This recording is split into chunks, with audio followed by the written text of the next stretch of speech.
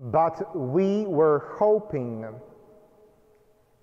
that he was the one that would bring things back to normal. Going back to normal is something we are all talking and hoping for these last four weeks. Or has it been five weeks? Sometimes it feels like five years or five centuries when things are not normal. It has been several centuries actually in Israel that things were not normal. When the two disciples who didn't know that they were talking to Jesus told him that we were hoping that things would be like the good old days when David was the king. They were not talking about five weeks ago, they were talking about a number of centuries ago. They were hoping that Jesus was the successor of David, the promised Messiah, that like David, he would make sure that Israel was a big and powerful kingdom, not a tiny, oppressed province of the Roman Empire. The problem with that hope of going back to normal is that things were not really that good when they were normal. David, the king that Peter spoke about in the first reading, wasn't so smart and wise as his son Solomon will be after him. His morality and ethics were somewhat questionable. You remember that he fell in love with Bathsheba, who wasn't his wife. Beforehand, he was accused of having an affair with Jonathan. So it was a mixed bag. And yet, a few centuries later, people would talk about David and his times as the good old days. Unfortunately, the good old days of Israel were not good for everybody, and they didn't last that long. For very short afterwards, first the Assyrian kingdom conquered tiny kingdom of Israel. Then the Assyrians were conquered themselves by the Babylonians, and Israel became a Babylonian province. When the Babylon kingdom collapsed, Greeks came around with Alexander the Great and when the Greek Empire collapsed, Romans conquered Israel. So the poor Jews, the poor country of Israel, had idolized the time of David because for a long time they didn't have their own kingdom or their own kings. Interestingly enough, in the times of kingdom of Israel, the kings would not be crowned.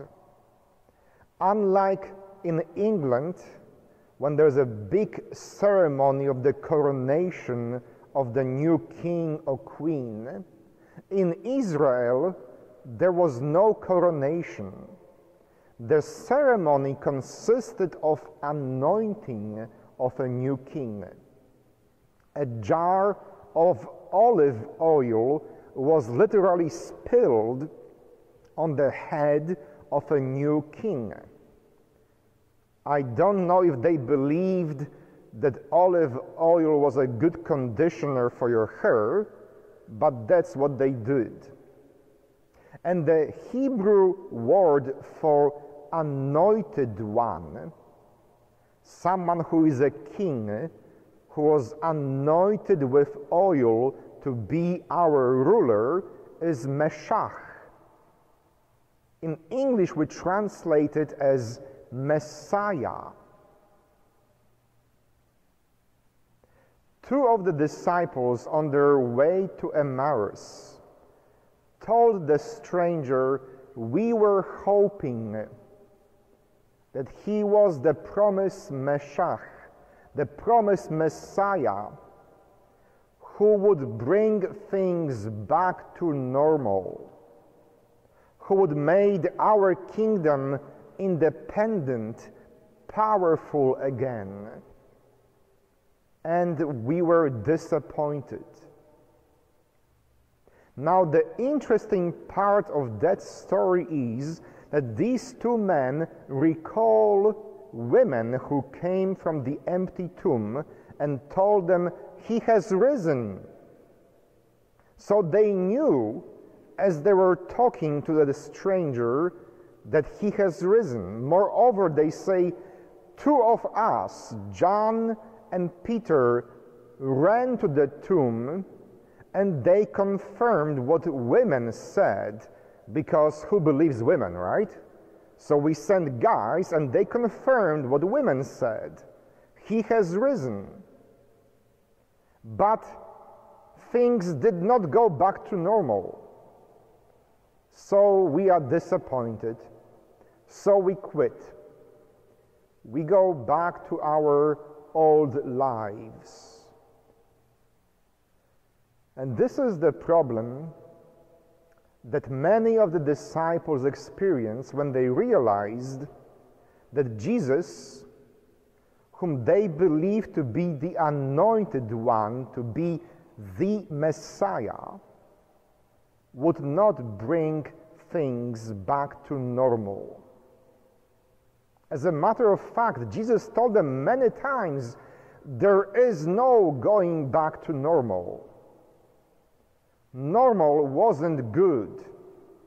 Normal wasn't just. Normal wasn't fair to everyone. Yes, if you were a king or high priest, you had it nicely. Your life was overflowing with wine and honey and milk. But if you were paid minimum pay job, if you were working a custodial job, if you were working in cash registry, if you were a teacher, your life wasn't good back when it was normal. So the resurrection of Jesus did not make things go back to normal. The whole point of Jesus' life, death, and resurrection was, was to convince his audience that the normal wasn't working. That the normal they were talking and dreaming about of the good old days of King David and Solomon wasn't good. There is no point of going back to normal. The resurrection of Jesus showed us that we need a new normal, a better kind of normal, a more fair and just ways to be society, to be the church. So before I hear you say again, I want things to go back to normal, ask yourselves, do you really want them to go back to normal? If you are a white privileged guy as I am, perhaps normal was good for us but it wasn't good for everyone. It wasn't good for the majority of our society. The normal we are talking about was never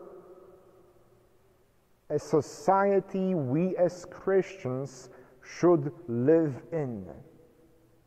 The way we talk to each other, the way we fought with each other, the way we gossiped about each other, the way we disrespected each other, the way we treated immigrants in our society, the way we treated those who work menial, low paying jobs was not normal. It wasn't right. It wasn't just. Jesus, in the gospel story of today, explains to these two apostles that things have to change. That there is no going back to normal, that Israel will never be a great and powerful kingdom again because his message was not about that. His message was about bringing love and justice to the center of attention. If your normal is about you going back to your privileged life, it is not resurrected normal. If your normal is meaning that you can ignore the needs of others, that you can ignore the health and well being of others, you didn't get the message of the resurrection. If you are unable to see Christ, the risen Lord, in the stranger walking next to you, if you are unable to see Christ, the risen Lord, in the underpaid teachers teaching your grandchildren, if you are not able to recognize Christ, the risen Lord, in a beggar by the exit ramp on Interstate 44 asking you for a change, you did not get the message of the resurrection. We can't go back to normal. We have to go to a new way of living, a new way of being church, and a new way of being a fair and just society. Amen.